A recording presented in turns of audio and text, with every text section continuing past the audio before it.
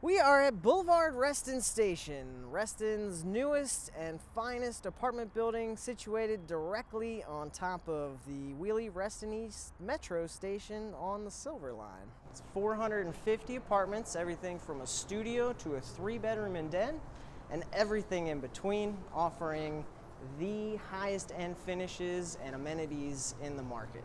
Amenities include our gorgeous penthouse lounge with pool deck, we also have 24-7 gym up here.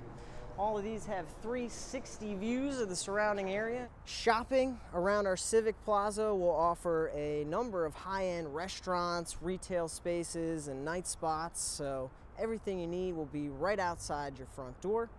Fairfax County requires about 10% of new developments, uh, apartments to be allocated towards workforce housing.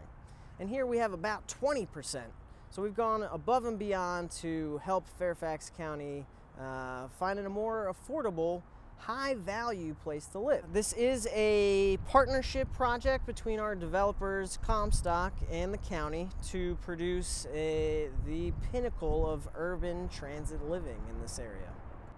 Well, public-private partnerships and joint ventures like this are an opportunity for us to do something with a partner that we couldn't do on our own.